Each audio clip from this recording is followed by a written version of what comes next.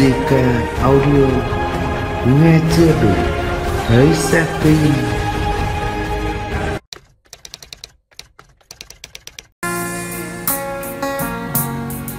Chào mừng quý vị và các bạn đã quay trở lại kênh youtube JK Audio. Vâng, hôm nay bên em có nhận được một uh, số cuộc điện thoại gọi về uh, bên JK Audio để xin hỏi tư vấn.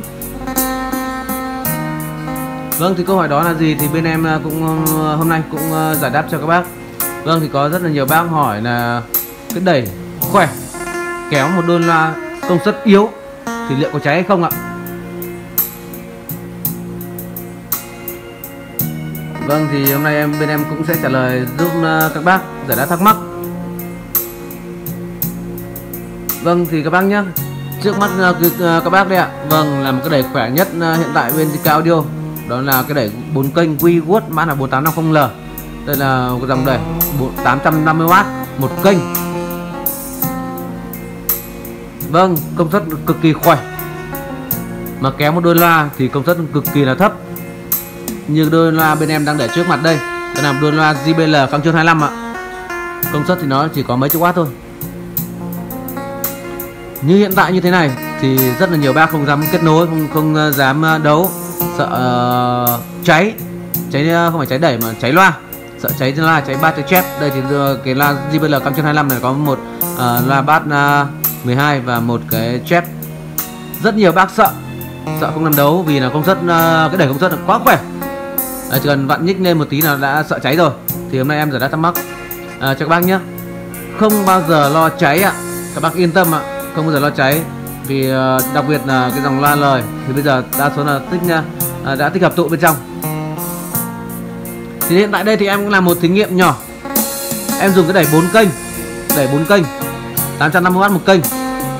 Và em kéo chỉ có một đôi loa JBL cam chôn căng chôn 25 thôi ạ. Vâng đây là một cái thí nghiệm nho nhỏ. Thì các bác xem ạ nó không hề cháy nhá. Không hề cháy mà ngày nào bên em cũng test uh, kiểu như này không bao giờ cháy.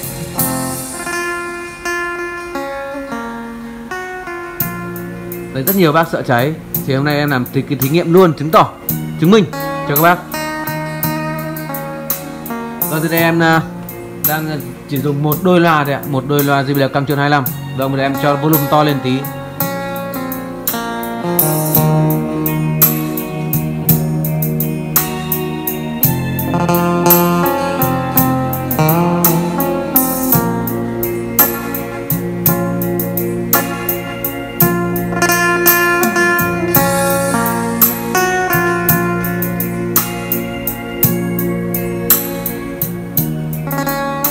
Vâng các bác thấy không? Không hề cháy. Không hề cháy ạ. Vâng. Các bác yên tâm dùng Các bác yên tâm sử dụng. Thì các bác tưởng tượng này. Một uh, Cái đầy khỏe. Nguyên tắc một cái đầy khỏe và một đôi loa Bao giờ cũng phải yếu hơn ờ, cái đầy. Vì thế nó cho cái chất nhạc hay hơn rất là nhiều Vì nó sử dụng hết công suất của loa. Đấy và cái, cái loa nó không bao giờ giờ bị uh, méo tiếng. Và đặc biệt là cái đẩy thì lại uh, được uh, uh, gọi là gì? À, không hoạt động hết công suất là rất là mát. Đấy không bao giờ nóng. Nóng thì nó phụ thuộc vào những cái đẩy công nghệ ờ, phụ thuộc vào công nghệ nữa ạ. Bằng công nghệ cái đây thì nó không không sinh nhiệt. Nói chung là cái đẩy nó không bao giờ hoạt động hết công suất vì thế đẩy rất là bền. Đây là nguyên tắc nguyên tắc đẩy. Bao giờ phải khỏe hơn loa. Thì đẩy và loa mới cho ra được chất âm là tinh tế nhất và sạch nhất không bao giờ bị méo tiếng đặc biệt là không bao giờ bị méo tiếng ví dụ như là các bác dùng cái đẩy mà yếu mà kéo đôi là khỏe thì cái độ méo tiếng rất cao và nghe rất là bí và đặc biệt là các bác quan sát tiếng bát ấy nó rất bị trùng trùng rất là nhiều. Đấy vì thế các bác hãy à, quan niệm cho, cho em rằng đó là các bác phải dùng cái đẩy. Công suất bao giờ phải lớn hơn công suất của loa? Thì cho chất âm hay nhất. Và các bác cứ tưởng tượng một uh, con uh, bò rất là khỏe và kéo một thùng hàng rất là nhỏ. Thì sao? Vâng thì con bò đấy không bao giờ nó bị uh, mất sức Không bao giờ nó bị mệt. Đó, đẩy cũng vậy ạ. Đẩy cũng thế đấy ạ. Vâng không bao giờ nó hoạt động hết công suất Vì thế rất là bền bỉ nhá.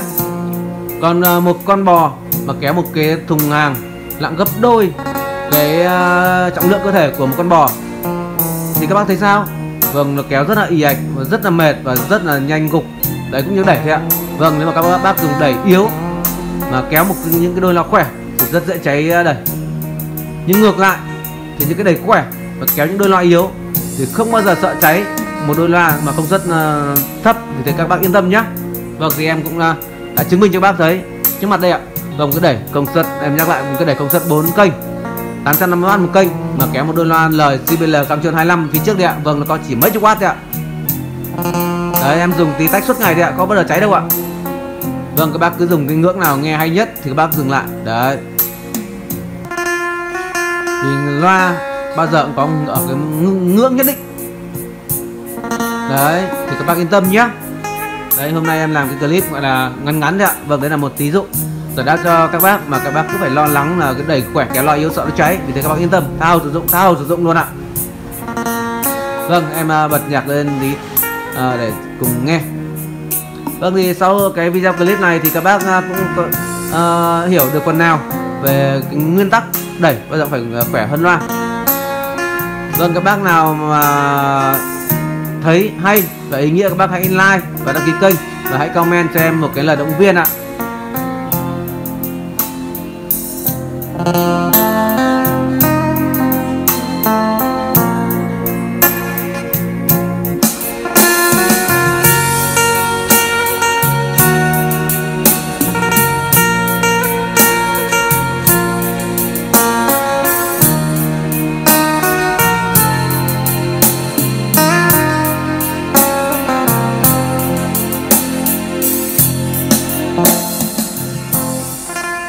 Vâng, thì sau đây em xin phép à, dừng video.